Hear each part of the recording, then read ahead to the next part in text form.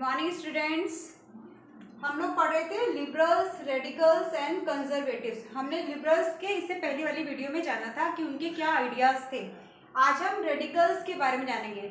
जो लिबरल हैं रेडिकल्स हैं या कंजर्वेटिव्स हैं, इन सबका एक ही आइडिया था कि जो सोसाइटी में उसमें चेंज आना चाहिए। ये इनमें सिमिलरिटीज़ थी। अब इसमें क्या आता wanted a government which must be based majority ये जो रेडिकल्स है, ये बोलते थे कि जो मेजोरिटी के बल पर अपनी गवर्नमेंट बनानी चाहिए। इसमें किसी को भी ऐसा नहीं कि किसी को वोट देने का अधिकार नहीं है। ये जो रेडिकल्स थे, ये लोअर कैटेगरी के थे। लोअर कैटेगरी के लोगों को सभी को वोट देने का अधिकार रखते थे। मेजोरिटी के बेस पर गवर्नमेंट बननी चाहिए। Wanted a government which must be based on majority ठीक है?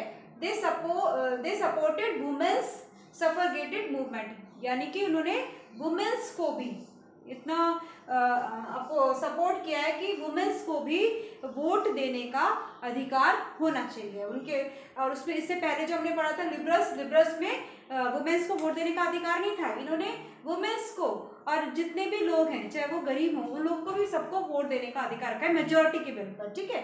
और इन्होंने किसको सपोर्ट किया है? वुमेन्स को। सफरगेट मूवमेंट को उन्होंने सपोर्ट किया है कि उनको भी वोट देने का अधिकार होना चाहिए। They opposed the privilege of great land owners and wealthy factory owners यानी कि जैसे जमींदार होते थे, उनके पास ऑलरेडी बहुत सारी ज़मीन हुआ करती थी। एंड जो फैक्ट्री ऑनर्स होते थे, है ना? तो उनके पास बहुत सारी ज़मीन हुआ करती थी। तो वो ये भाई बहुत सारी ज़मीन अगर किसी के पास है तो वो उसका कोई दुरुपयोग भी कर सकता है, ना?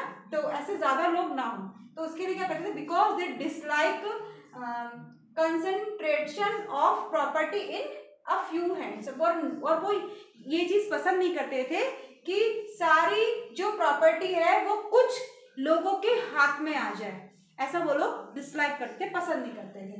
And because this was creating disparity in the society इससे क्या होगा? इससे सोसाइटी में अगर कुछ लोगों के हाथों में ज़मीनें आ जाएँगी तो क्या होगा? या पावर आ जाएगी तो क्या होगा? हमारे यहाँ डिसपैरिटी आ जाएगी, यानी कि ऊंच नीच वाली जो भावना होती है, वो आ जाएगी। ये हमारे क्या थे? रेडिकल्स की चेंजेस चाहते थे। रेडिकल्स के ये आइडियाज़ थे, वो इस तरीके से अपनी सोसाइटी में चेंज चाहते थे। हम नेक्स्ट वीडियो में कंजर्वेटिव्स कंजर्वेटिव्स के बारे में जानेंगे कि वो किस तरीके से सोसाइटी में चेंज चाहते थे।